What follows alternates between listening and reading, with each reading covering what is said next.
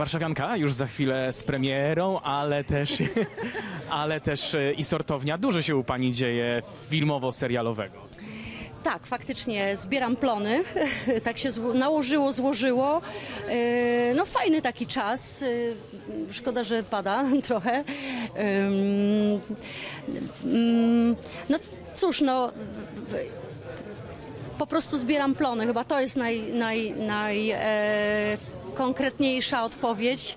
E, czekają jakieś nowe projekty, ale to zobaczymy, pożyjemy.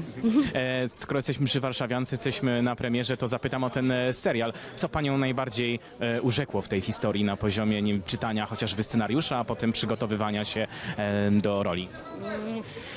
Najbardziej ta historia po prostu tego człowieka, ptaka, nie wiem, poety. I ta, ta czułość, ta czułość e, jego, e, tak naprawdę mm, tak, tak, taka emocja e, unikatowa, można powiedzieć. I chyba to mnie najbardziej urzekło, że, że, że tam ona jest, właśnie tak bardzo intensywnie. Okej, to powiedzmy w takim razie, jeżeli... Wbrew pozorom, w, w sumie w, takim, e, w takiej ostrej i mocnej opowieści.